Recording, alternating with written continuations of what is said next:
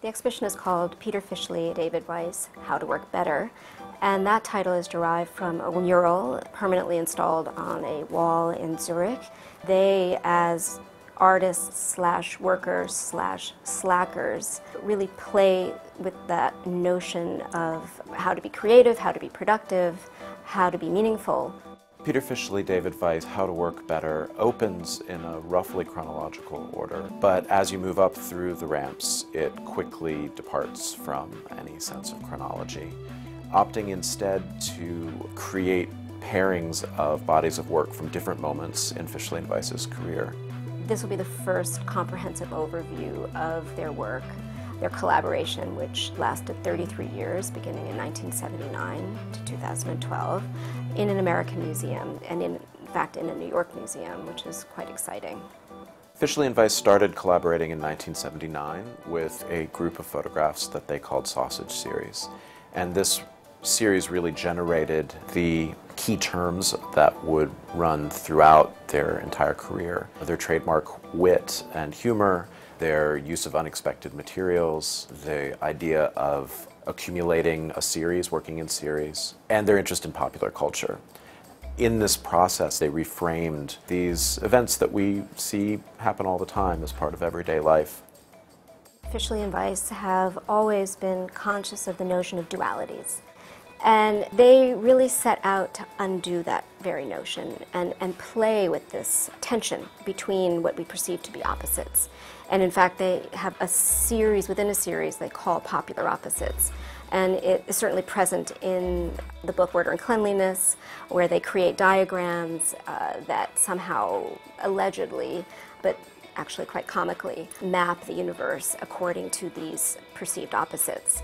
One thing that distinguishes the exhibition is the prominent place that it gives moving image in Fischli and Weiss's work. The artists worked in many mediums during the course of their career, in photography, sculpture, they made books, they did drawings, they made public art, but they repeatedly came back to the ideas of film and video and slide installations. Fischli and Weiss's alter egos Rat and Bear make their first appearance in their film The Least Resistance, which they finished in 1981.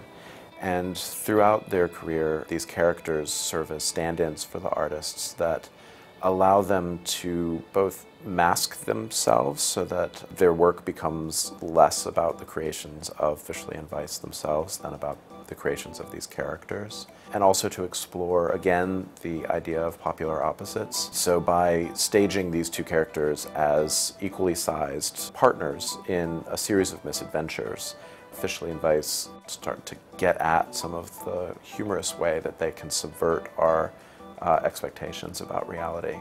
Fischli and Weiss operate in an interrogative mode. Many of the works are, are, framed around the idea of asking questions. So there's the question pot, which is part of the gray sculptures, and it is a vessel made out of polyurethane in which a viewer can peer into, and there are questions that literally circle around the interior, written in German, and like the early questions from Rat and Bear in The Least Resistance, they are both big and little questions. So questions that deal with the most banal issues to the most cosmic. Because of the dialogic way that Fischli and Weiss worked, having these ongoing conversations in their practice, many of their works take the form of accumulations or archives of smaller parts. Fischli and Weiss first explored this way of working in their series Suddenly This Overview, which they began in 1981.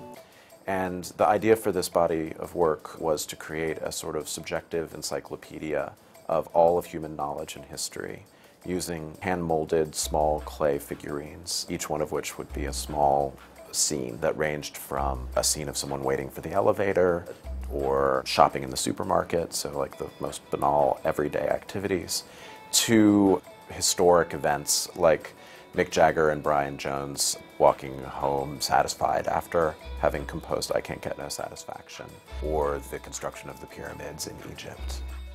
Fischli and Weiss use deadpan humor, non-ironic humor, as a way to comment on how we perceive the everyday, the things we take for granted, for instance, the amateur photograph, the snapshot of our travels and, and things that we don't tend to value, they elevate and give it a, a, place in terms of a hierarchy in high art. And, and they also render it very, very beautiful. And I think that what they embraced was a kind of normalcy in a way, very self consciously, almost a performance of normalcy. So, what you have in their work are postcard views and airport views and, and 96 hours of video of just people going about their daily lives. They're going to show us back our world, but with great poignancy and great appreciation. We go through life taking for granted certain things around us and really ignoring, filtering out a lot of the content of our everyday life. And Fischli and Weiss's work draws things out of that background and brings it to the front through these little twists of presentation that attempt to restore a sense of wonder with the everyday.